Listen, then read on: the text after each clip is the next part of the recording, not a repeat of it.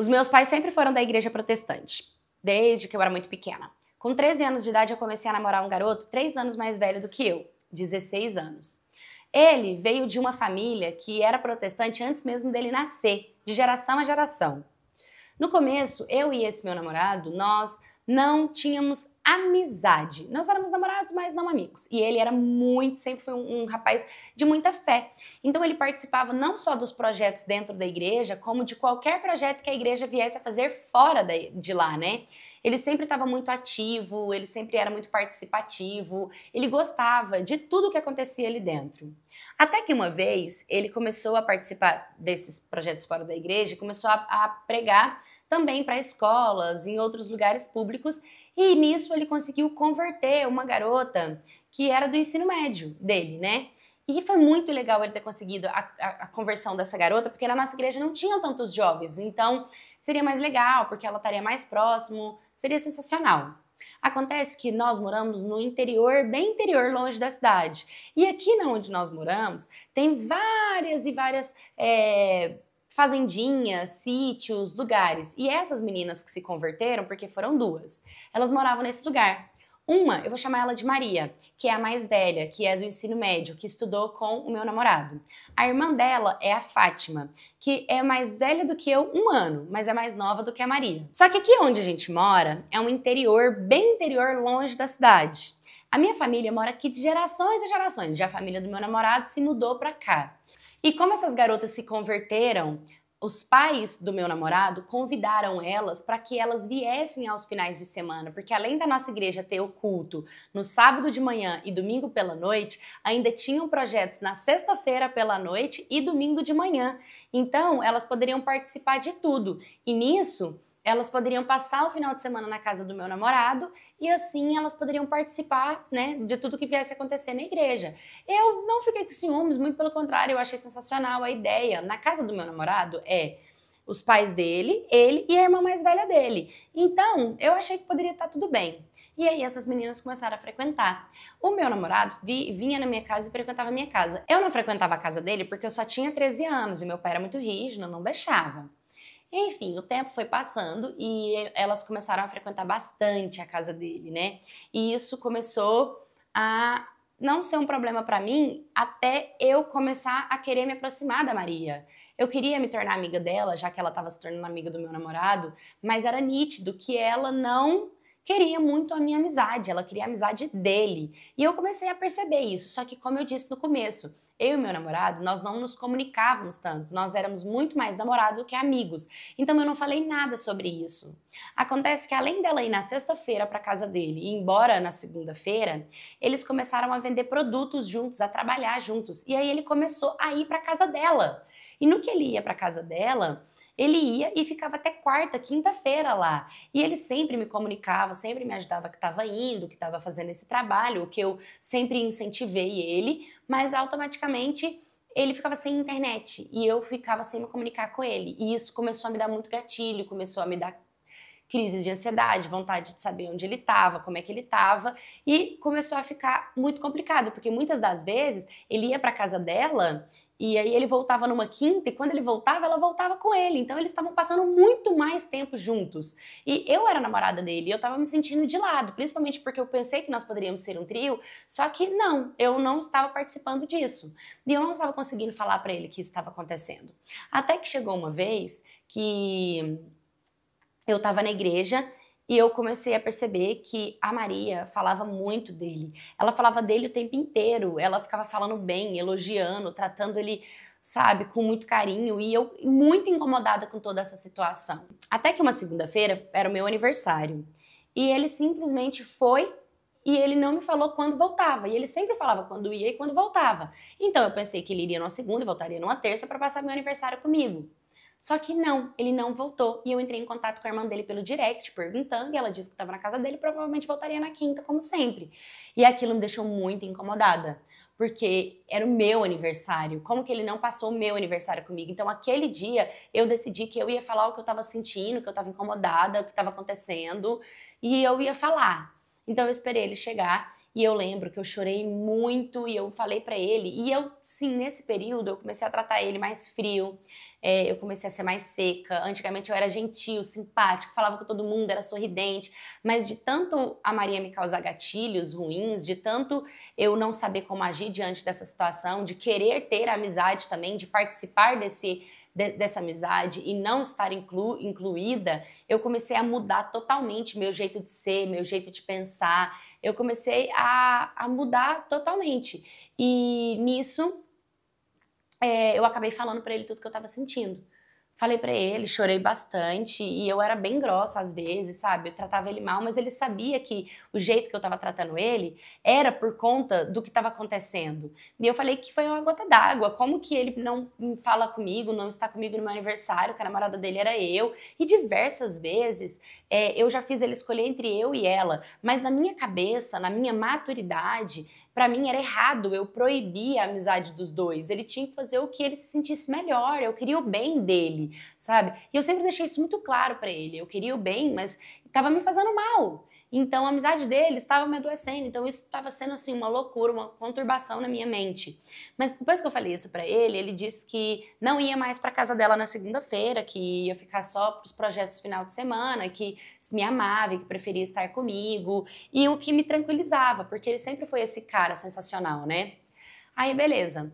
O tempo foi passando e eles foram convidados para participar de um projeto, porque o meu namorado sempre quis trabalhar na obra do Senhor.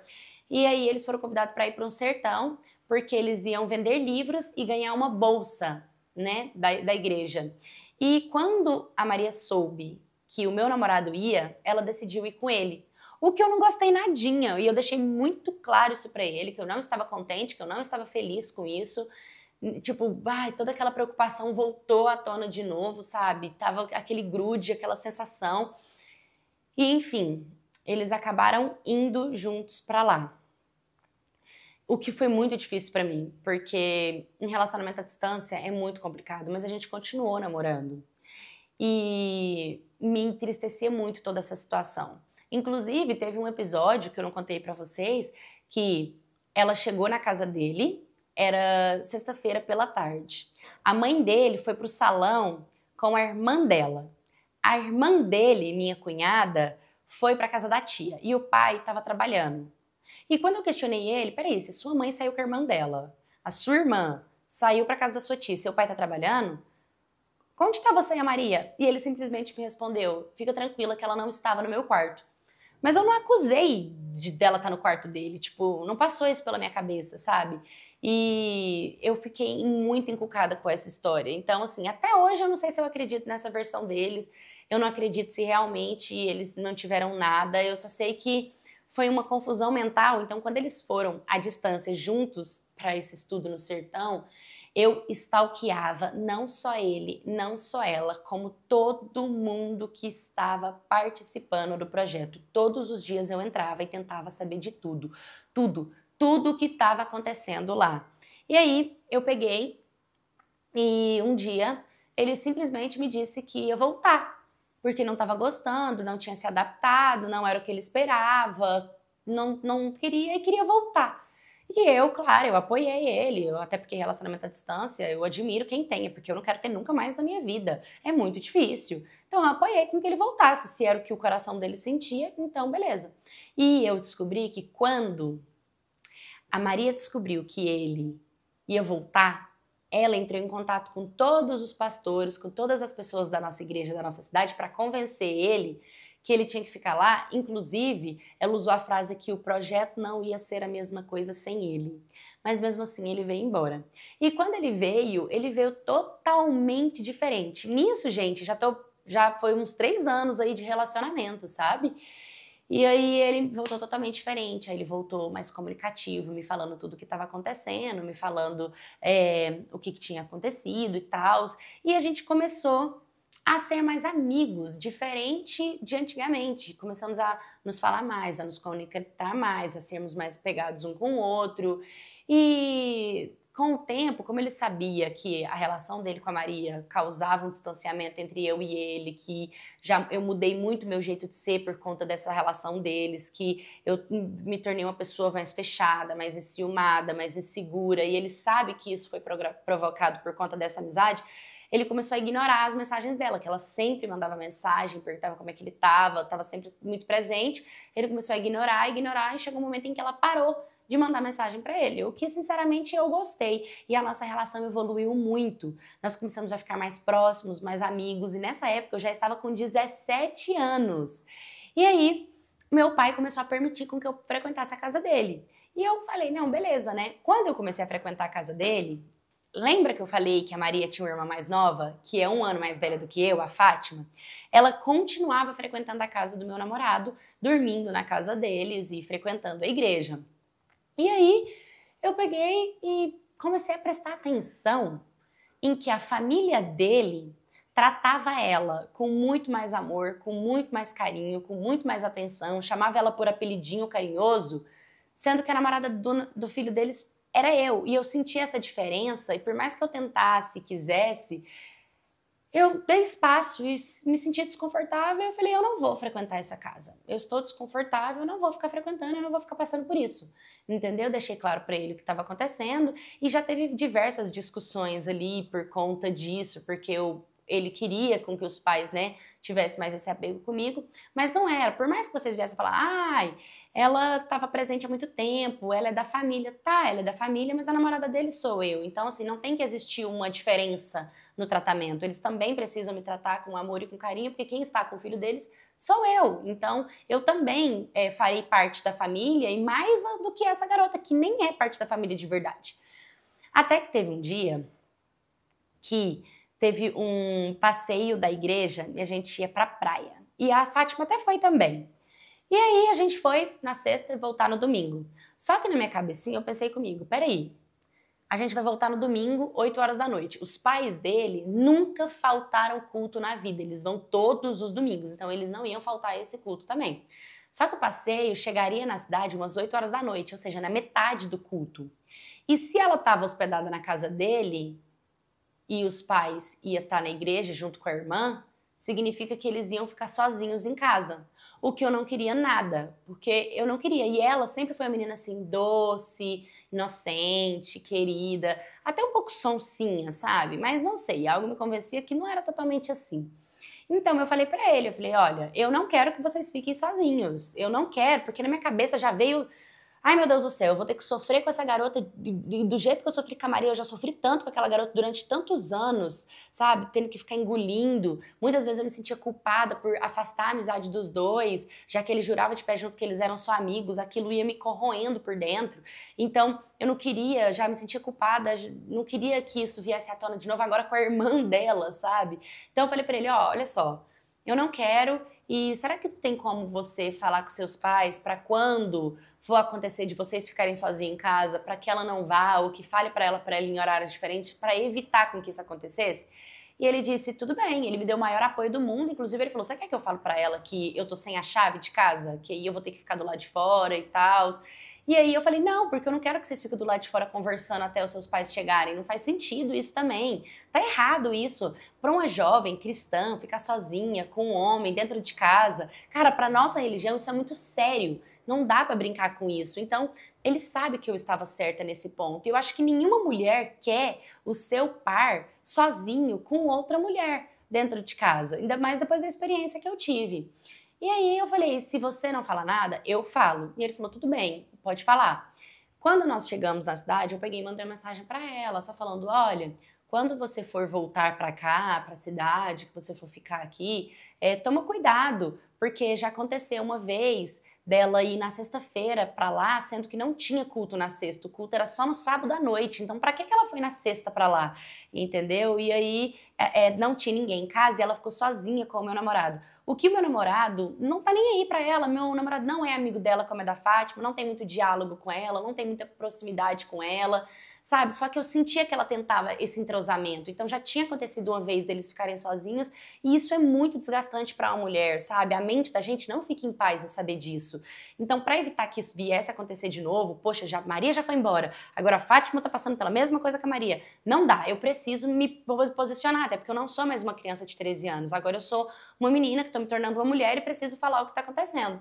Então eu mandei mensagem para ela, olha, da última vez, né, você veio na sexta-feira, não tinha o culto, você acabou ficando sozinha e talvez isso não seja tão legal. Então toma cuidado para nas próximas vezes que você vier ficar na casa da família uh, dele, você não ficar sozinha com ele. E eu mandei para ela assim uma boa, sabe? Pensando que ela ia me entender, que ela ia super é, falar ok e tal, não.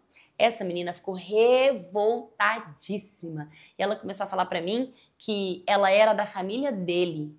E eu falei para ela que não, ela não era da família dele.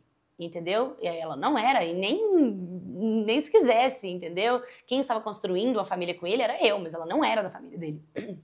Ela disse que eu era sem consideração e que eu não era um exemplo de cristã. Aí eu virei para ela e falei: Olha, eu não tenho que ter consideração por você, nem te conheço, nunca quis ser minha amiga, então não tem por que eu ter essa consideração, não sou eu que tenho que ter essa consideração. E eu também não quero ser exemplo de cristão para ninguém, entendeu? E aí ela falou um monte de coisa para mim, enfim, eu não nem respondi, porque eu nem esperava que ela fosse me tratar com aquela grosseria que ela tinha me tratado.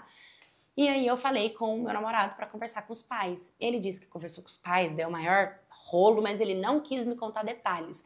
Só sei que ele vivia brigando com os pais dele para me defender, sabe? Eu não sei o que acontecia lá dentro, mas ele nunca me envolveu. Ele nunca me contou o que realmente a família dele achava de mim ou pensava sobre mim, mas ele sempre me escolheu, que para mim era o que valia. Bom, acabou que ela parou de frequentar a casa dele e começou a frequentar a casa do meu primo e da minha prima, que são casados, né?